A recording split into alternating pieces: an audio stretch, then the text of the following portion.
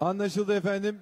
Sayın Cumhurbaşkanım sizleri ve Rizeli kardeşlerimizi Rize Merkez Çarşı Mahallesi'nden saygı ve hürmetle selamlıyoruz.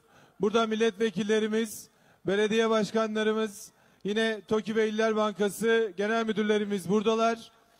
Zat halinizin talimatlarıyla 2012 yılında başlattığımız Türkiye'nin her yerinde